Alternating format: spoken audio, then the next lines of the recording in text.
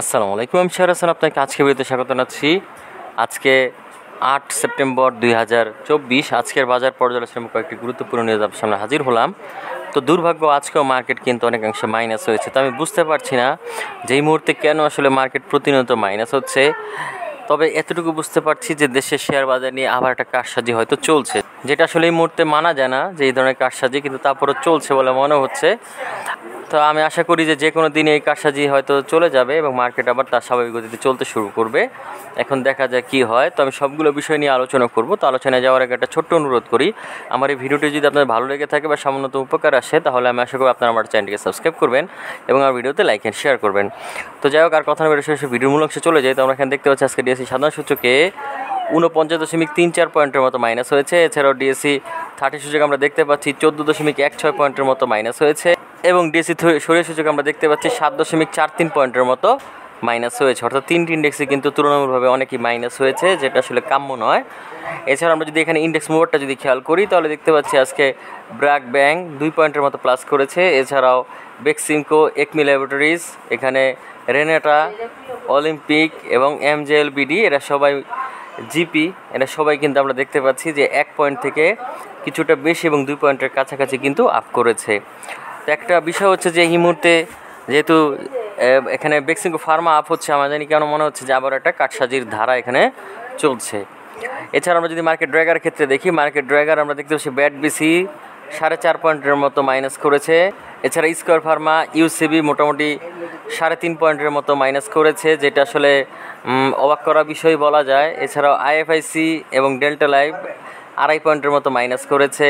আমরা দেখতে পাচ্ছি ওরিয়ন ফার্মা সি পার্ল এখানে Orion infusion, Robi, unique hotel, এরা সবাই আমরা দেখতে পাচ্ছি যে দেড় পয়েন্টের মতো মাইনাস করেছে। তো তুলনামূলকভাবে এত বেশি পরিমাণ মাইনাস করাতে কিন্তু মার্কেটটা অনেকাংশে নিচে নেমে গিয়েছে। তো এটা আসলে আশা করা ছিল না। তো কেন জানি মনে হচ্ছে আবারও কারসাজি হচ্ছে এবং কোনো প্রকার আমরা বলতে পারি যে কারসাজি বিরোধী তেমন কোনো পদক্ষেপ এখনও গ্রহণ করা হয়নি বা কোনো প্রকার কাজ হচ্ছে না আমার কাছে মনে হচ্ছে। এখন আসলে অপেক্ষা করা ছাড়া তেমন কিছু বলার নেই। তো যাই হোক, এই হচ্ছে বিষয়। এরপর আমরা যদি ট্রেড স্টেশনে যদি আলোচনা করি, তাহলে দেখতে পাচ্ছি আজকে চৌষট্টিটি শেয়ার আপ হয়েছিল, অপরিবর্তিত ছিল পঁয়তাল্লিশটি এবং পতন ঘটেছিল দুইশো উননব্বইটির এবং টাকার অঙ্কের লেনদেন যদি আমরা খেয়াল করি, তাহলে দেখতেছি টাকার অঙ্কের লেনদেনে আজকে ছয়শো আটাত্তর দশমিক আট দুই দুই কোটি টাকার মতো লেনদেন হয়েছে, যেটা আসলে মোটামুটি বলা যায়, টাকার অঙ্কের লেনদেন মোটামুটি ডিসেন্টই বলা যায় সেই ক্ষেত্রে। তবে পয়েন্ট যেহেতু মাইনাস হচ্ছে এবং পতনকৃত শেয়ারের সংখ্যা যেহেতু বেশি, সেই ক্ষেত্রে মার্কেটটা কিছুটা ভোলাটাইল হিসেবেই বলা যাচ্ছে। এছাড়া আমরা যদি এখানে টপ গেনের এবং লুজারের ক্ষেত্রে দেখি, তো টপ গেনের আমরা দেখতে পাচ্ছি, এখানে এনটিসি এখানে মোটামুটি বৃদ্ধি পেয়েছে। এখানে আমরা সাউথ বাংলা এগ্রিকালচারাল ব্যাংকও দেখতে পাচ্ছি, মোটামুটি বৃদ্ধি পেয়েছে, আর বাকি সবাই খুবই সামান্য পরিমাণে বৃদ্ধি পেয়েছে। এছাড়া আমরা যদি এখানে লুজারের ক্ষেত্রে দেখি, তাহলে দেখছি লুজারের সবাই কিন্তু মোটামুটি বলা যায় দশ পার্সেন্টের মতোই মাইনাস হয়েছে। দুই একজন হয়তো একটু কিছুটা কম মাইনাস হয়েছে। তো এটা আসলে মানা যায় না। এত বেশি পরিমাণ মাইনাস মার্কেটকে টেনের নিচে নামিয়েছে আমরা খেয়াল করছি। এরপর আমরা যদি টাকার অঙ্কের লেনদেনটা যদি খেয়াল করি, তাহলে দেশে টাকার অঙ্কের লেনদেনে আজকে লিন্ডে বিডি সবচেয়ে বেশি পরিমাণ লেনদেন হয়েছে টাকার অঙ্কে। দ্বিতীয় অবস্থানে হচ্ছে ব্র্যাক ব্যাংক মোটামুটি বলা যায় ভালো লেনদেন হয়েছে। অলিম্পিক এরপরে অবস্থানে রয়েছে। এখানে বেশ কিছু শেয়ার ভালো অবস্থানে লেনদেন হয়েছে, আমরা দেখছি টাকার অঙ্কে। তো আপনারা চাইলে এই সকল শেয়ারগুলোর প্রতি নজর রাখতে পারেন। এরপর আমরা এখানে দেখতেছি মার্কেট ম্যাপ। মার্কেট ম্যাপে আমরা দেখতে পাচ্ছি কর্পোরেট বন্ডই আজকে শুধুমাত্র ভালো অবস্থানে ছিল। আর বাকি সবারই খুবই বাজে অবস্থা আমরা খেয়াল করছি। তো এখানে সবচেয়ে বেশি খারাপ অবস্থা হলো পেপার অ্যান্ড প্রিন্টিং এখানে বলা যেতে পারে যে সিরামিক সেক্টরও খারাপ করেছিল। এখানে আমরা দেখতে পাচ্ছি যে ইন্স্যুরেন্স সেক্টরও খারাপ করেছে ট্রাভেল অ্যান্ড লেজার খারাপ করেছে ইঞ্জিনিয়ারিং সেক্টর আমরা দেখছি খারাপ করেছে। তো আপনারা এই সকল সেক্টরগুলো থেকে নিরাপদ থাকতে পারেন অথবা এই সকল সেক্টরে যেগুলি ভালো শেয়ার সেগুলিতে বিনিয়োগ করতে পারেন দীর্ঘমেয়াদের জন্য। আমার কাছে মনে হচ্ছে অতি শীঘ্রই মার্কেট ঘুরে দাঁড়াবে এবং ভালো হবে। এই কারসাজিকারীদের হাত যখন আস্তে আস্তে ভেঙে যাবে তখন আমি মনে করি মার্কেট স্বাভাবিক গতিতে চলতে শুরু করবে। তো যাই হোক, এরপর আমরা যদি এখানে ব্লক মার্কেটে নিয়ে যদি আলোচনা করি, তাহলে ব্লক মার্কেটে আজকে এখানে দেখতে দেখতেছি মিডল্যান্ড ব্যাংক মোটামুটি লেনদেন হয়েছে। এখানে লাভেলও ভালো লেনদেন হয়েছে বলা যায়। এছাড়াও সাউথ বাংলা এগ্রিকালচারাল ব্যাংক ভালো লেনদেন হয়েছে বলা যায় ব্লক মার্কেটে তো এই ছিল মোটামুটি ব্লকের অবস্থা। আমরা দেখতে পাচ্ছি ব্লক মার্কেটে কয়েকটি শেয়ারই মোটামুটি ভালো করেছে। তো আপনারা চাইলে এই সকল শেয়ারগুলোর প্রতি নজর রাখতে পারেন। যদি ফান্ডামেন্টালি স্ট্রং হয়, তাহলে আপনারা চাইলে বিনিয়োগ করতে পারেন।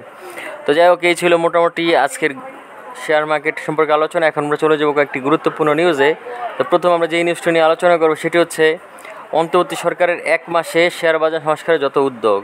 তো মূলত আমরা আশা করেছিলাম অন্তর্বর্তী সরকার আসার পরেই, বা বলতে পারি স্বৈরাচার শেখ হাসিনার পতনের পরে শেয়ার মার্কেট ঘুরে দাঁড়াবে এবং ঘুরে দাঁড়িয়েছিল।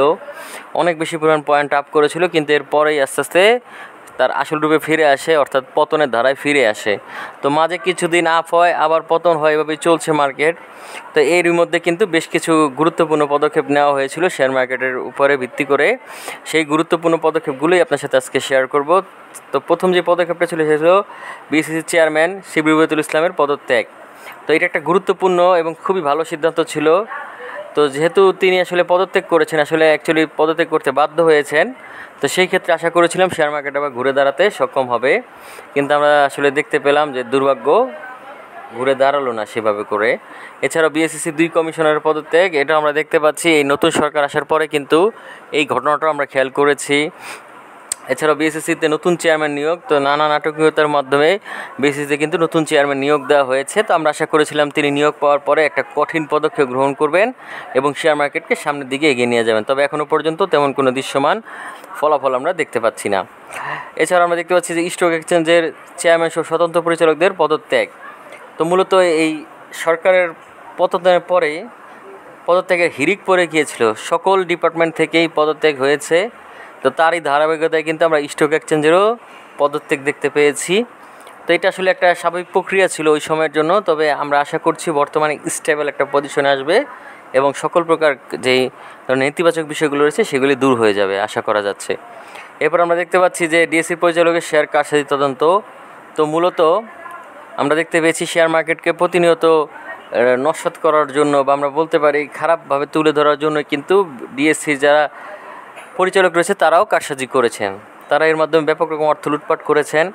সেটারই তদন্ত করা হচ্ছে। এখন দেখা যাক সামনের দিনগুলোতে কী ফলাফল পাওয়া যায়। এছাড়াও স্টক এক্সচেঞ্জের কার্যক্রম খতিয়ে দেখতে কমিটি গঠন। তো মূলত স্টক এক্সচেঞ্জ কীভাবে করে কার্যক্রম পরিচালনা করছেন, এখানে দুর্নীতি হচ্ছে কিনা সেই বিষয়টাও খতিয়ে দেখতে কিন্তু কমিটি গঠন করা হয়েছে। এছাড়া আমরা দেখতে পাচ্ছি, শেয়ার বাজারে এগারো ব্যক্তির বিও অ্যাকাউন্ট জব্দ।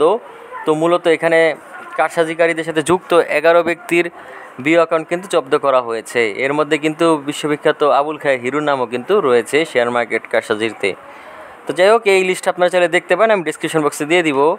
এখানে অনেকগুলো নিউজ রয়েছে গুরুত্বপূর্ণ বা আমরা বলতে পারি যে বিভিন্ন রকম পদক্ষেপ গ্রহণ করা হয়েছে, আমি সবগুলো আলোচনা করছি না। তো বিষয়টা এরকমই, আপনারা চাইলে দেখে নিতে পারেন, আশা করা যাচ্ছে যে এখান থেকে আপনারা ভালো কিছু নিউজ গেইন করতে পারবেন। তো যাই হোক, এর পরবর্তীতে আমরা যেই নিউজটি নিয়ে আলোচনা করব, সেটা হচ্ছে ডিএসসি তদন্ত প্রতিবেদন, বেক্সিমকো শেয়ার কারসাজিতে আট ব্যক্তি পজিশন জড়িত। তো মূলত বেক্সিমকো যে শেয়ার কারসাজি হয়েছে, শেয়ার মার্কেটে সেটার আসলে কেন হয়েছে, সেই বিষয়টা আসলে তদন্ত করে আট ব্যক্তি ও প্রতিষ্ঠানেরকে পাওয়া গিয়েছে। তো আমরা একটু দেখি বিষয়টা কি। দু হাজার বিশ সালের উনিশ মার্চ, শেয়ারটির দাম ছিল এগারো টাকা বিশ পয়সা। তো সেই শেয়ারটির দাম দুই মাসের মাথায়, অর্থাৎ দু হাজার একুশ সালের জানুয়ারিতে, আমরা দেখতে পেয়েছি তিন গুণ বৃদ্ধি পেয়ে একশো নব্বই টাকা হয়েছে। এই সময় দেখানো হয় রেকর্ড পরিমাণ মুনাফা। তো দেখেন কত বড় একটা জালিয়াতি এবং বিরাট বড় একটা ডিভিডেন্ড ঘোষণা করা হয়। তো এর ফলে কিন্তু আস্তে আস্তে শেয়ারটির মূল্য অনেকাংশে বৃদ্ধি পেয়ে যায়। এবং এই কারসাজির সাথে জড়িত কিন্তু আসলে এই বেক্সিম করি প্রতিষ্ঠানের যেই মালিক রয়েছেন, তিনি হচ্ছেন সালমান রহমান এবং প্রধানমন্ত্রীর বিনিয়োগের যে উপদেষ্টা রয়েছেন, তিনি আসলে জড়িত। এবং তারই বিভিন্ন প্রতিষ্ঠান জড়িত রয়েছে। আমি এখানে বিস্তারিত আলোচনা করছি না। আপনারা চাইলে দেখে নিতে পারেন। আমি ডিসক্রিপশন বক্সে লিঙ্ক দিয়ে দিব। তো তাদের এই কারসাজির কারণে কিন্তু বেক্সিমকো শেয়ারটি হিউজ পরিমাণ মূল্য বৃদ্ধি পায় এবং সেটা সেল করার মাধ্যমে কিন্তু বিরাট একটা টাকা তারা হাতিয়ে নিয়েছে। তো এটা আসলে সত্যি আমরা বলতে পারি যে তদন্ত করার দরকার ছিল আর আগেই। কারণ আমরা জানি শেয়ার মার্কেটকে পতন ঘটানোর জন্য বা কারসাজিতে কিন্তু সালমান রহমানের হাত সবচেয়ে বড় ছিল। যাই হোক, এর পরবর্তীতে আমরা যেই নিউজটি নিয়ে আলোচনা করব সেটি হচ্ছে সাড়ে চার গুণ কোম্পানির চাপে শেয়ার বাজার বেসামাল তো মূলত বাজারে যে সকল শেয়ার রয়েছে, তার যেই পরিমাণ মূল্য বৃদ্ধি পেয়েছে, তারও সাড়ে চার গুণ বেশি কিন্তু পতন ঘটেছে।